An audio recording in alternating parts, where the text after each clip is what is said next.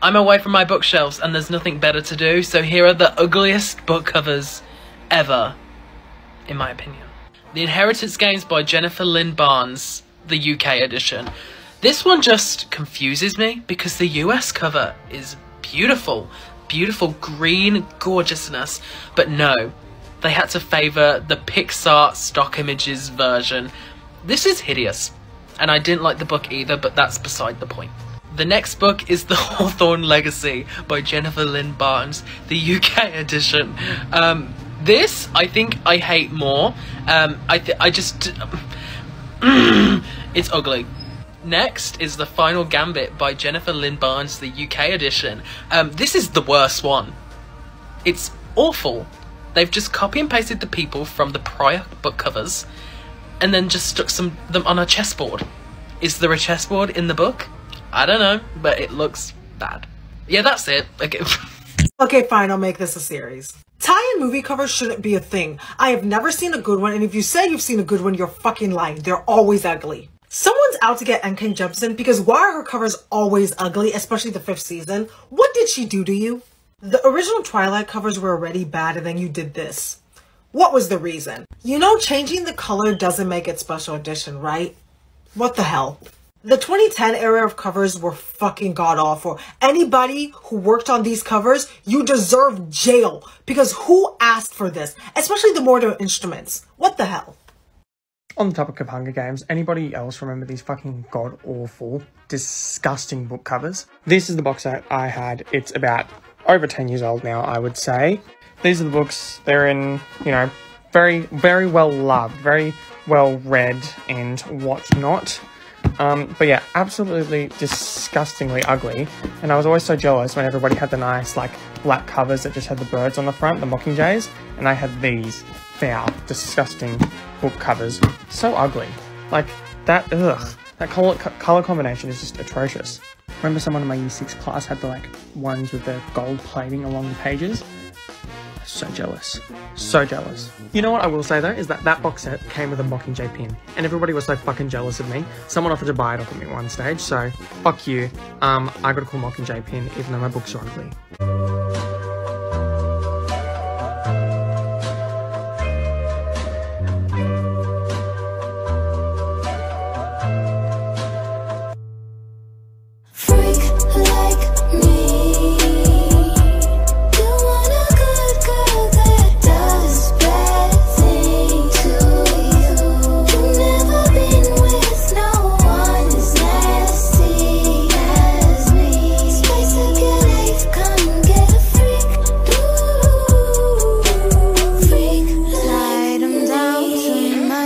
Talking about ugly covers, um, especially Amivi Reads did a funny series on these books, and it just reminded me of English books that have been translated in French and they're awful covers, and so I thought I would show you.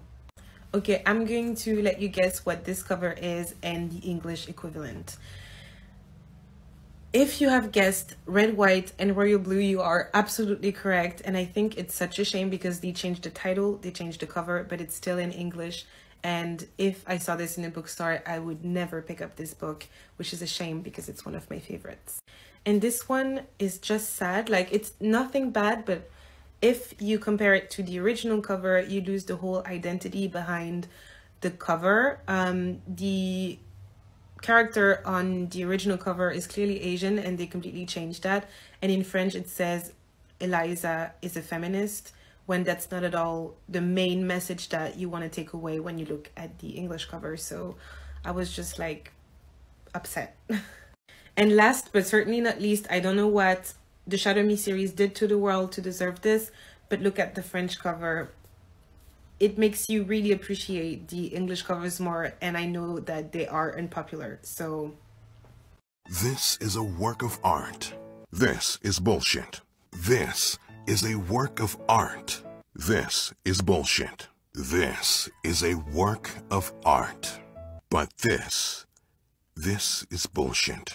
These are more of the ugliest books of 2020. Except I don't own any of them.